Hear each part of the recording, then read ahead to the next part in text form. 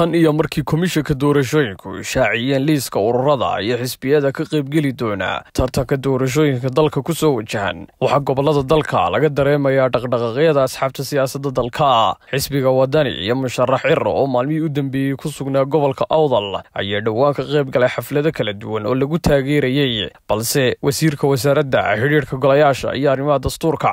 cabdinaasir maxamed xasan booni ayaa amar ku bixiyey in qaar ka mid ah hoteelada magaalada boorama xisbigu ku qabsan karin xaflado. Arrintan ayaa soo ifbaxday kadib markii si yaab iyo amakaag leh mar qudha wafdiga xisbiga iyo musharaxa loogu dhex arkay goob waxbarasho oo ku taala gudaha magaalada boorama. Dhacdadan oo hadalhayn badan dhalisay ayaa su'aal gelisay sababta goob waxbarasho loogu dhex arko astaan xisbi siyaasadeed. Intaasi kadibna nuxurka jawaabtu ku soo rogaal celinayso amarka wasiirku bixiyey haddaba waxaa xusid mudan inay tahay markii ugu horreysay ee goob waxbarasho xisbi ku qabsado xafladda ayaa dadka gobolka awdal ku sifeeyeen wasiir booni oo ah nin si weyn ay uga qayliyaan xisbiga waddani